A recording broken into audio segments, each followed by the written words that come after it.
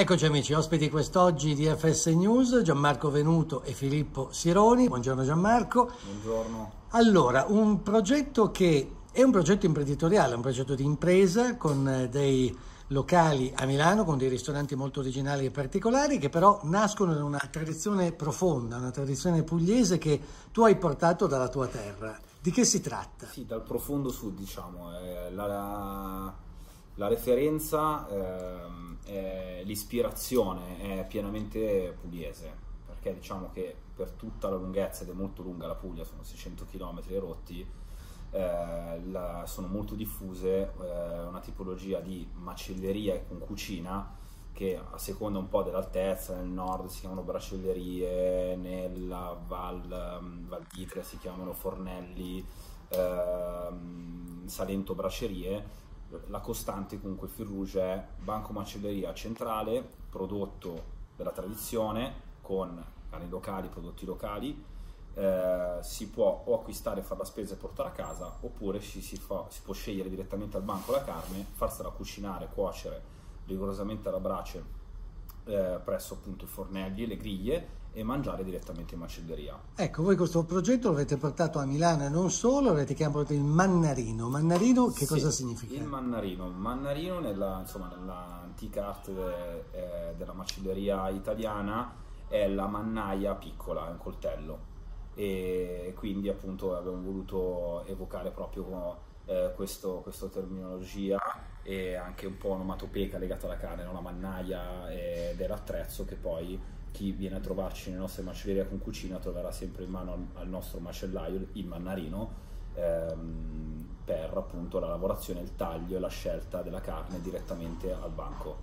Ecco, una scelta che diventa un po' il, il gioco ma anche l'approfondimento culturale di quello che è eh, la tipologia della carne, le sue preparazioni, avete anche oltre a una scelta che adesso mi elencherai di diversi tagli e di diversi animali, avete anche della tradizione delle bombette pugliesi, avete la tradizione della salsiccia particolare, oltretutto con il coinvolgimento di fornitori locali che insomma eh, trovano con voi lavoro in più, trovano sviluppo. Certo, assolutamente. Noi abbiamo iniziato a lavorare un anno prima della nostra apertura, della nostra prima apertura. Una ricerca durata mesi, in lungo e largo per la Puglia, per il Piemonte, alla ricerca di eccellenze, alla ricerca di produttori che fanno il loro lavoro come una volta, conduzione familiare, che rispettano l'animale, rispettano il territorio e creano valore.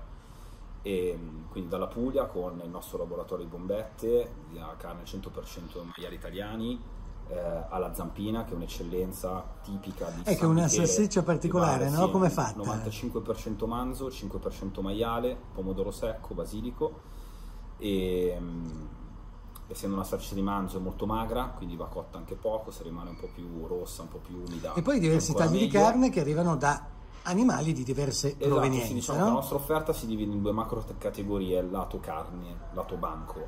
Ehm, il semilavorato, bello sfizioso, colorato, le nostre bombette, la zampina, la salsiccia a punta di coltello, gli arrosticini, eh, tutta una serie di straccetti di carne eh, conditi, insomma, con anche verdure molto gustose. E poi tutta la parte di lombate, di costate fiorentine. Abbiamo tre razze fisse, tre tipologie di carne razze fisse a banco, sono la fassona piemontese, eh, costate fiorentina, la eh, bavarese, Simmental, eh, molto, un po' più marezzata, un po' più morbida, ehm, e la manza lombarda che nasce insomma, da un progetto sul territorio eh, da cascine, carne che arriva da, da bestie, eh, da animali delle, di cascine del Sondrio, Lecco, quindi un po' di circondario, diciamo, un, un prodotto a chilometro zero possiamo dire, e ogni mese abbiamo una razza speciale che scegliamo, selezioniamo nei nostri test praticamente settimanali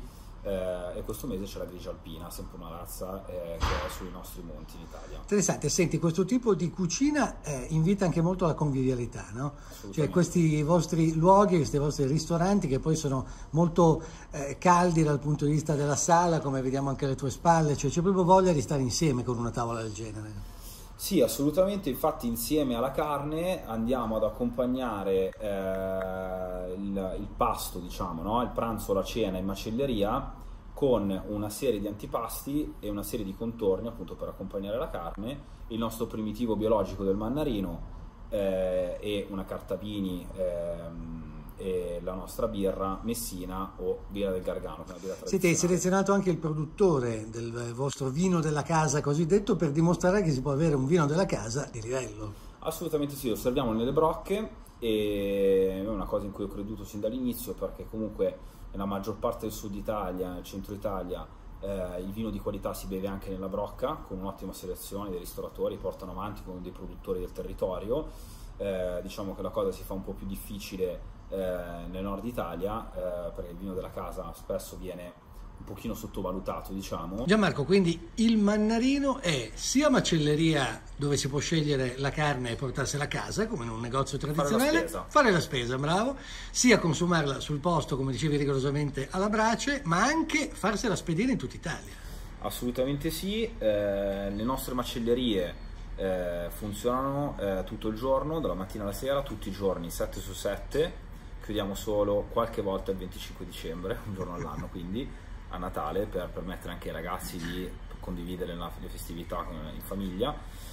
E ehm, è possibile appunto sì, fare la spesa, acquistare non solo carne ma anche una piccola parte di gastronomia appunto anche per, per accompagnare la carne nella cottura a casa che abbiamo chiamato a casa di nonna con parmigiana, pure di fave cicore eccetera che rispecchia anche un po' il nostro menù in store del ristorante. È possibile scegliere la carne, scegliere eh, i contorni appunto per accompagnare la carne e gustare direttamente e farsi preparare direttamente le, le, le pietanze e le specialità direttamente in macelleria oppure è possibile ordinare dalla nostra macelleria online che abbiamo aperto eh, in, nell'ultimo periodo insomma, di covid in cui abbiamo dovuto tenere le macellerie chiuse e, e i ristoranti chiusi per un periodo per un bel periodo purtroppo e assolutamente sì, è possibile ordinare tutti i tagli di carne nell'offerta del nostro banco, le nostre specialità e fare consegnare direttamente a, casa vostra e sulle vostre griglie in tutta Italia.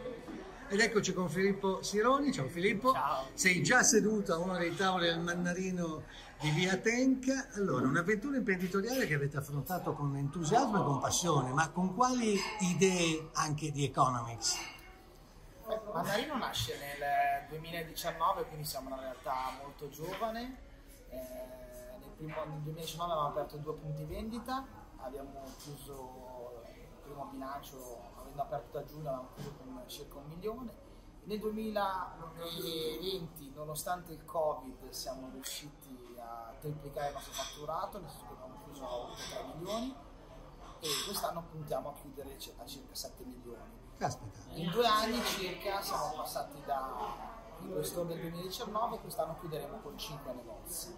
Oltre ai 5 negozi abbiamo il nostro e-commerce dove spediamo in tutta Italia la nostra carne che selezioniamo e eh, lavoriamo in questo, in questo, proprio in questo store. Senti, anche la soddisfazione di avere un, insomma, collaboratori eh, con pochissimo ricambio, se non vado errato, quindi vuol dire che funziona la vostra offerta verso di loro, ma anche il, il lavoro che si compie qua. Sì, eh, diciamo che noi teniamo tanto all'ambiente di lavoro che si crea all'interno di Mandarino e alle condizioni di lavoro. A differenza della maggioranza delle ristorazioni, noi abbiamo una retribuzione a ore e non a netto concordato, quindi paghiamo tutte le ore in cui sta pagando i nostri dipendenti, sia le ore ordinarie che le ore di straordinario, e quindi questo porta ai, ragazzi delle buste paga molto elevate e unita a un ambiente di lavoro comunque giovane, divertente, fa, fa, sì che i nostri ragazzi rimangano sempre con noi. Abbiamo un tasso di retention dei, dei, dei lavoratori a un anno superiore al 90%. Quindi siamo molto contenti che sia che le persone si trovino bene con, con noi, ma anche viceversa, perché poi anche noi dobbiamo trovarci bene con i lavoratori e cerchiamo comunque, soprattutto in fase di selezione, di essere molto dure, molto stringenti in maniera tale da poi tenere quindi esigete ma sapete restituire insomma. assolutamente sì. Esigenza tanta ma restituiamo anche tanto. Senti com'è che ti sei appassionato a questo format? Sei un amante della carne anche tu innanzitutto assolutamente sì eh, e poi mio, mio socio Gianmarco è pugliese l'idea di Mandarino nasce dall'osservazione della, delle braccerie sì, in sì. Puglia ci ha raccontato questa bella storia tu di dove sei invece? io sono milanese sono milanese doc e però con una passione per la Puglia, vado spesso in viaggio e l'idea di Maranello nasce poi da quello. dall'osservazione della Puglia, ma rivisitata in un'ottica moderna, nel senso che la macelleria eh, intesa come intesa in Puglia è una macelleria che va a sparire. Noi cerchiamo di rivitalizzare la macelleria e di farla continuare, di continuare questa tradizione. Senti, il pubblico milanese apprezza, si vede, siamo anche sì, qui in un orario di pranzo, cioè il tutto esaurito. Quindi... Stiamo, fra poco ci fanno alzare anche da questo tavolo perché lo vediamo. Sì, il pubblico apprezza tanto perché apprezza molto la nostra offerta sia in termini di qualità sia in termini di prezzo perché noi abbiamo comunque uno scrutinio medio che è contenuto, siamo circa su 35 euro, ma al contempo riusciamo a dare una carne di alta qualità e questo viene molto apprezzato. Senti, l'ultima cosa mi incuriosisco, una siete giovani perché avete tu e Gianmarco... Stessa età, 32 anni. Ecco, eh, quindi questo ha contato nello sfidare un po' questo settore? Sì, diciamo che noi arriviamo da un, non arriviamo dal settore carne, arriviamo da fuori e molto spesso quando si è al di fuori di un settore si, magari si riscontrano bene eh, con uno spirito critico diverso le, le criticità e quindi magari si riescono anche a identificare i fattori critici del successo in maniera più razionale e quindi siamo riusciti diciamo, a vedere il mercato dall'esterno, fare una bella analisi che poi ci ha portato a fare quello che è Mannarino. Quindi la, la visione esterna ci ha permesso di eh, avere una visione più completa. Di analizzare un po' di meglio. analizzare meglio. Certo. Infine, da qui a 5 anni dove vi vedete? Da qui a 5 anni c'è un piano molto ambizioso di crescita e di sviluppo. Puntiamo a arrivare a 60 punti vendita alla fine del 2026, quindi c'è un gran percorso, c'è una grande corsa. Siamo in continua crescita, in continuo sviluppo. A novembre apriremo il nostro punto complemento, come forse ti avevo anticipato. Nel 2022 abbiamo altre sette aperture, quindi abbiamo tanto da Sempre fare. in Lombardia o anche fuori? Iniziamo anche col Piemonte, cioè, eh, nel primo semestre c'è sicuramente Torino che merita di avere un mandarino. Bene, grazie Filippo Sironi, non mi resta di dirti in bocca al lupo. Grazie a te. Gianmarco, alle tue spalle, piatti lavorati a mano, uno degli elementi di arredo e di design che insomma riscaldano l'ambiente e portano un po' di Puglia a Milano. Assolutamente sì, il nostro intento è, stato, è sempre stato proprio quello di eh, urbanizzare e eh, eh, replicare il, il mood l'ambiente dei borghi eh, pugliesi e delle macellerie con cucina eh, del sud, quindi con tanto calore e tanta tradizione, lavorando sui materiali, lavorando sui colori, lavorando sulle luci, lavorando sulla mise en place, sui dettagli. Ehm, Eccola qui, bicchieri in, maniera, in ceramica, in ceramiche maniera, sul tavolo. Sì, sì, in maniera un po' più, eh, insomma, riadeguandola anche un pochino a, a, al contesto no? cittadino di, di una city e urbanizzando ecco, un pochino l'approccio. Diciamo che l'amore per il sud non si perde mai. No, quello non si, non si, dimentica mai, non si perde mai, ci si torna costantemente a trovare fornitori, eh, a trovare chi ci sostiene e chi ci eh, segue da due anni eh, quotidianamente ehm, e poi anche per piacere, per trovare sem- sempre a caccia di spunti nuovi. Viva la Puglia! Sempre!